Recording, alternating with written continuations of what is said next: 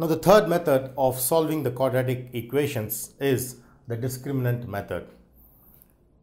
The two other methods we have seen were the factorization method and the complete square method. Now the discriminant method is the most powerful method because this doesn't have any restrictions.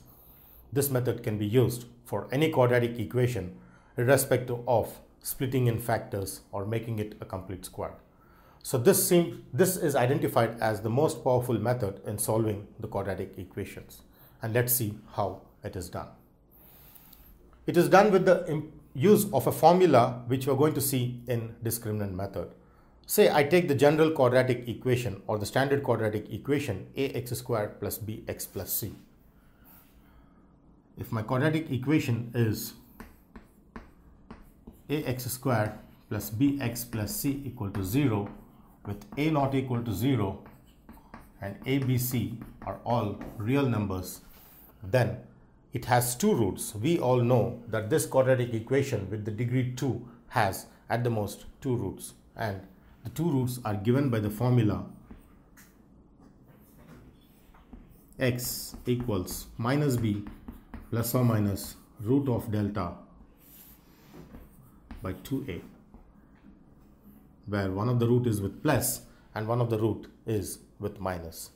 So when I take this split as plus and minus I get x equals minus b plus root delta by 2a and here one of them is minus root delta by 2a where delta is b square minus 4ac and is called the discriminant.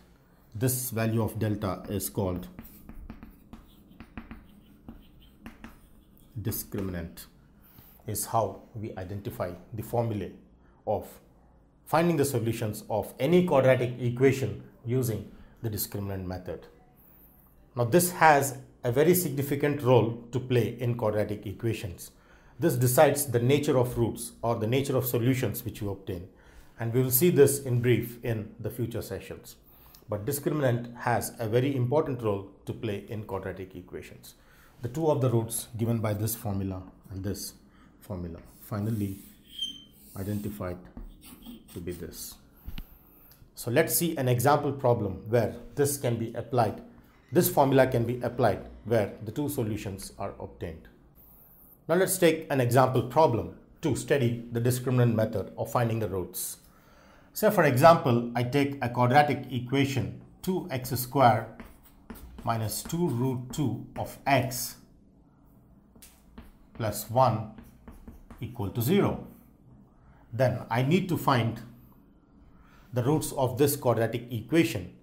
Now if I compare this quadratic equation with the general form ax squared plus bx plus c, then I clearly identify that the value of a is 2 and the value of b is minus 2 root 2 and the value of c is 1 because ax squared plus bx plus c where a is this, b is this, and c is this. Now to find the roots using the discriminant method, initially I need to find the discriminant delta. So as we know that the discriminant delta is given by the formula b square minus 4ac, then I simply substitute the values of a, b, c in this equation and I get the value of delta. So first finding the value of delta is very important in discriminant method. So let's find delta in the initial case of solving the given quadratic equation.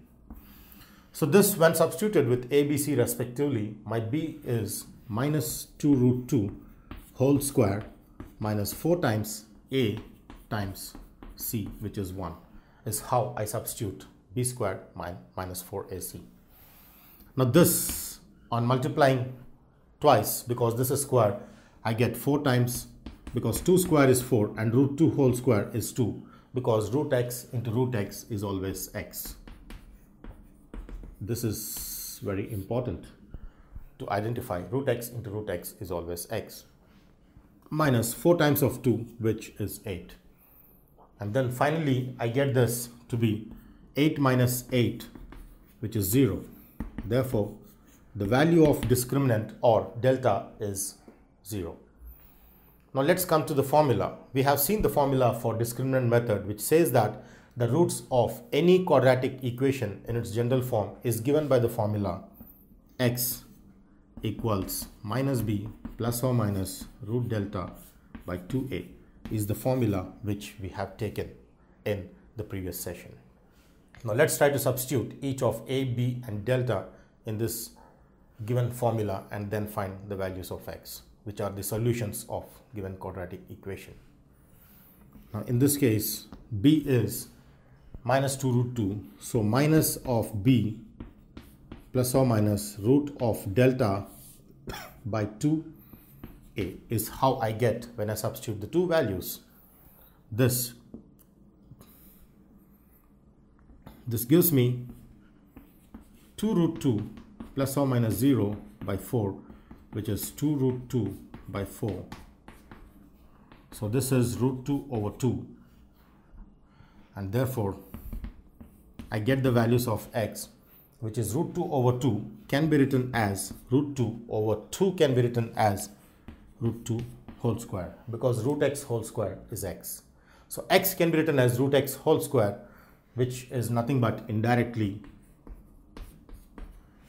in this form so that I can cancel one of the root 2. The reason I write 2 as root 2 whole square is I want to cancel this which gives me x equals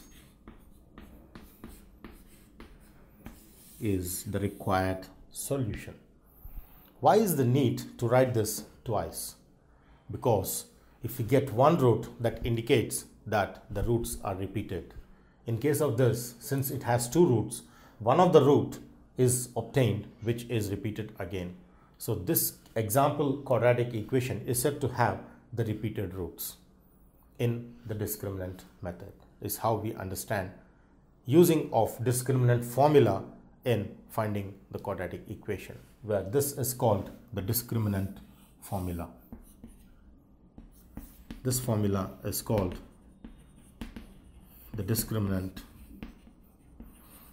formula for finding the quadratic equations using the delta which is the discriminant.